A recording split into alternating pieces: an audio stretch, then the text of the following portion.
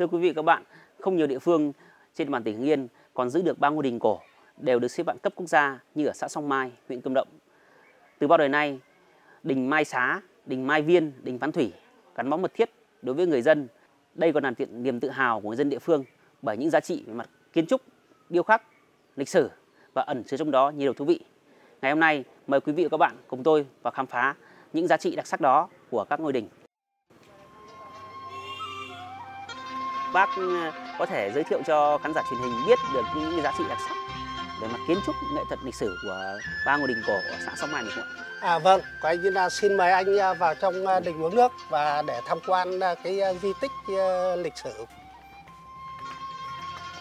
Bác Trong ạ, vâng, bác có thể cho biết cái nguồn gốc lịch sử của cái ngôi đình Mai Xá của mình được không ạ? À, ngôi đình cổ của làng Mai Xá chúng tôi đấy là được xây dựng khá sớm vào những năm Cảnh Hưng 1775 thờ vũ vị đại vương là Cao Mang đại vương, Trung Thành đại vương, Trấn Đại Đại Vương, Mộc Hoàn Đại Vương, Đồng Vĩnh Đại Vương. Hiện vật cổ của chúng tôi hiện nay là còn quay giữ được 5 bức đại tượng rất đẹp. Thế và các cái bức phù điêu, các cái lá lật rồi là các cái hình thú được coi như là là, là xây dựng đấy, là quay nó vẫn còn nguyên bản. Thì cái kết cấu của cái ngôi đình cổ của chúng tôi là còn rất tốt rất vững chắc. Toàn bộ các cái cột lim đấy, là vẫn còn nguyên bản. Là cột rất to mà bây giờ thì chắc chắn là rất là khó có thể làm lại được như thế này. Vào những năm 40 và năm 45 đó, là có những các đồng chí gọi đảng viên là đại tướng uh, Nguyễn Quyết vâng. và lão thành cách mạng là Mai Tuấn Nghĩa người của thôn Mai Viên của chúng tôi đã về đây quay hoạt động đó, ở dưới mái đình này. Chúng ta đang đi à, đến ngôi đình của làng Mai Viên. Vâng. phải nói là phong cảnh ở đây rất hữu tình. Cái giếng cổ của coi như là đã được xây dựng hàng trăm năm nay.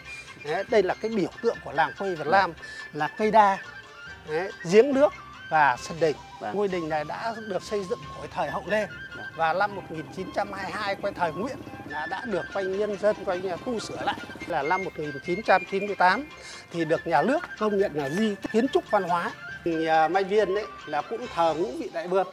Thời hai bà Trưng đã được coi như là nhà vua sức ban nhân dân của hai thôn Mai Xá và Mai Viên là hàng năm là thờ các ngài. Tất cả các cái à, con chồng, con nội rồi tất cả các cái à, hình rồng vẫn còn nguyên bản của cái thời coi như là kiến trúc ban đầu.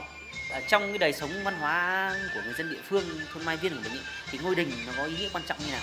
Ngày mùng 10 tháng 3 âm lịch nhân dân thường tổ chức ngày lễ Thành Hoàng tổ chức vào hai ngày ngày mùng 9 và ngày mùng 10 nhưng ngày mùng 10 là 9 kiến thiết lại này ngoài nhà nước có cái chương trình tu bổ ra thì toàn bộ là kinh phí đều do nhân dân tự đóng góp ủng hộ có những gia đình ủng hộ hàng tính ra hàng trăm triệu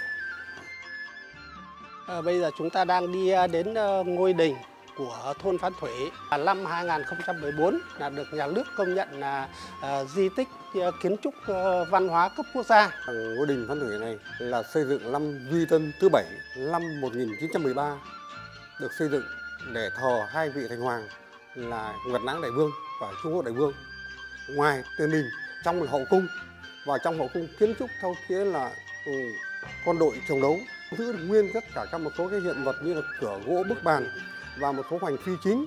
Nhưng quá trình nó mai một đi là còn lại hiện nay là vẫn còn nguyên cái bộ khung chính của nó.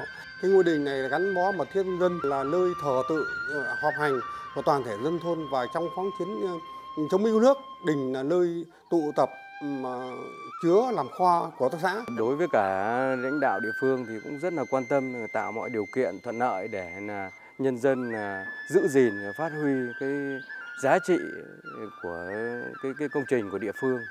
Vừa rồi là tôi cũng đã dẫn các vị đi để à, khám phá ba cái di tích lịch sử à, văn hóa cấp quốc gia của xã Song Mai. Thì à, những năm tiếp theo cán bộ và nhân dân địa phương là sẽ tiếp tục giữ gìn cái cái di sản văn hóa trong muôn đời sau.